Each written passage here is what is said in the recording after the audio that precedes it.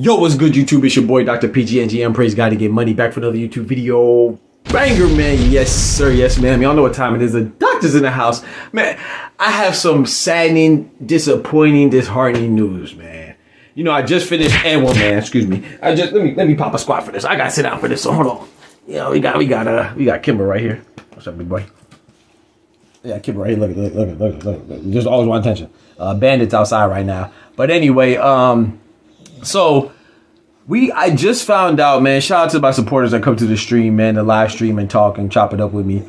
I just found out that the fight of the freaking decade, the fight that I anticipate the most, the one that I am just so happy for and, and, and just ready for it to happen, man. Artur Beterbiev versus Dmitry Bivol has been postponed, man. No, please don't. Not like this. Not like this.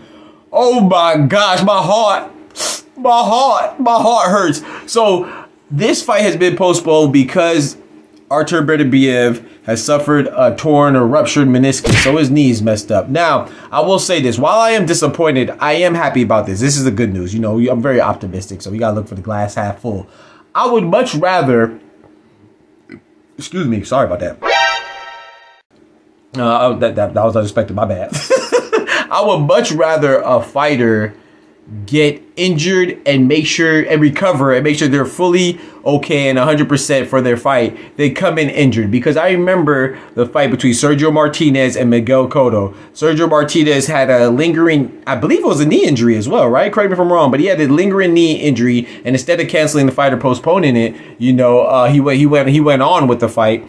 And it just it was a terrible experience for not just the fighters, I'm sure. Miguel was probably disappointed too. You know, you want your opponent 100, percent but also from from from from from a, from a fan standpoint too, man. It just wasn't the fight that everybody anticipated and hoped it would be. So so this is good that you know hopefully you can have a full recovery and then come come come back and return for for a fight with Bivol and when they're both at, at their best. You know what I'm saying? So um so it's not all it's not all bad. Yes, we don't have the immediate uh, uh pleasure and and and and, and um you know, elation from the fight actually commencing. But guess what? We all there's more good news. We still have the 5v5. Of course, the 5v5 Matchroom versus Queensberry standalone.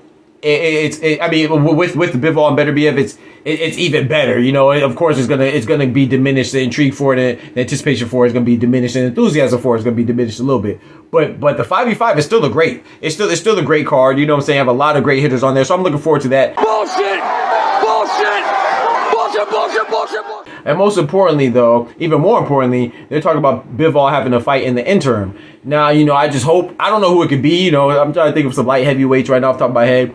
Uh, you got Joshua Buatsi maybe step in, Anthony Yarde, because Anthony Yarde fought Beterbiev he did fight Bivol.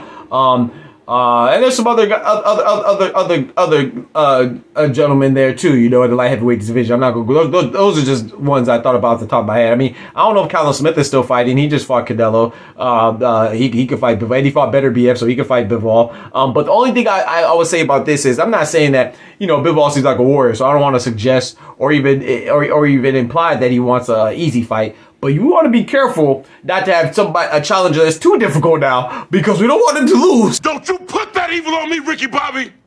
Don't you put that on us! and derail that that that that, that, that uh, future highly anticipated uh, uh, undisputed light heavyweight battle between him and Beterbiev. So we got to be a little careful who we match him up with. You know what I'm talking about? So yeah, y'all let me know what y'all think about it. Who do you think Bivol should fight in the interim? Uh, are you disappointed? I, I, I, know, I know, everybody's disappointed. That's kind of uh, uh, uh, that question doesn't even need to be asked. But y'all let me know how y'all feel about this, man. I'm, I'm hurt, but at the same time, I just wish Artur Beterbiev a full recovery, and and hopefully we'll see him in the room, in, in, in the room, in the ring at a, at a later date, man. Appreciate y'all rocking me as always. Remember, with God, we can do anything. Without God, we are nothing. Peace. The doctor's out. From the hood to college, both worlds they had to meet. Six degrees between us, so cold we're about to freeze. But we're Florida boys, hot takes, we bring the heat. We're moving the culture, the engineers to the streets.